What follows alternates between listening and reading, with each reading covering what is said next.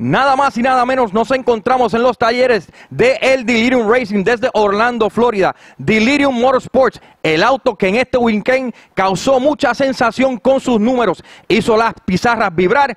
460 en el octavo de millas. Mucha gente dice que no lo hizo, que lo hizo, que no lo vaqueó, que lo vaqueó.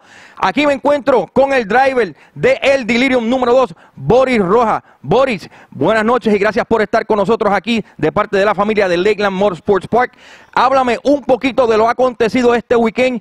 ¿Qué fue lo que sucedió este weekend en la pista de octavo de milla?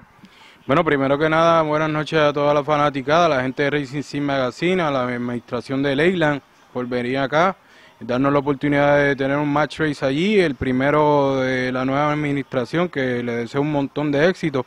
Este, nada, mano, repetimos lo que en Bradenton le dijeron un pase fantasma, lo repetimos en una pista con menos condiciones. Este, no sé, los números no mienten, papá. Este, el carro hizo 2.97 a los 3.30 en Bradenton, eh, allá hizo 3.01 eh, y en el octavo marcó 4.57 en Bradenton, ahí marcó 4.60 y el que sabe, sabe, yo le quité la pata antes de llegar, 148 nada más de millas y él ha metido 154, así que el que no lo crea, que vaya allí a Leyland, que allí lo voy a repetir, lo voy a mejorar y ya tú sabes que para aquello no viene yeso, pa. Así es, la fecha ya está pautada abril 13, viernes 13 será el día del match race. El indio versus el Delirium 2 o Delirium 2 contra el indio. Háblame un poquito de la máquina, háblame qué está pasando con la máquina. ¿Tú crees que todavía eh, queda tela para cortar?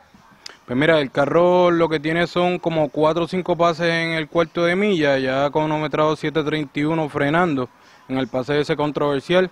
En un pase que obviamente tenía un motor paleteado ya de dyno y de, y de testing para cuestión de suspensión hizo 735. So, yo sé lo que hay en la olla, ¿entiendes? Y yo sé que lo que el carro va a hacer, ¿entiendes? Eh, es cuestión de darle pista y llegar. Gracias a Tito Chassi que nos hizo un trabajito ahí este, en la suspensión de atrás que hacía falta.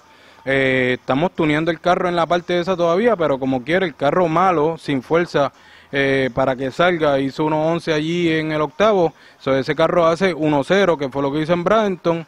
Y hace abajo va a ser el 4.5 y en la larga va a ser 7.071. El que tenga dolor de cabeza que vaya a CVS, a Walgreens, hasta en Publix venden pastillas para el dolor de cabeza, pa. Ahí lo escuchaste.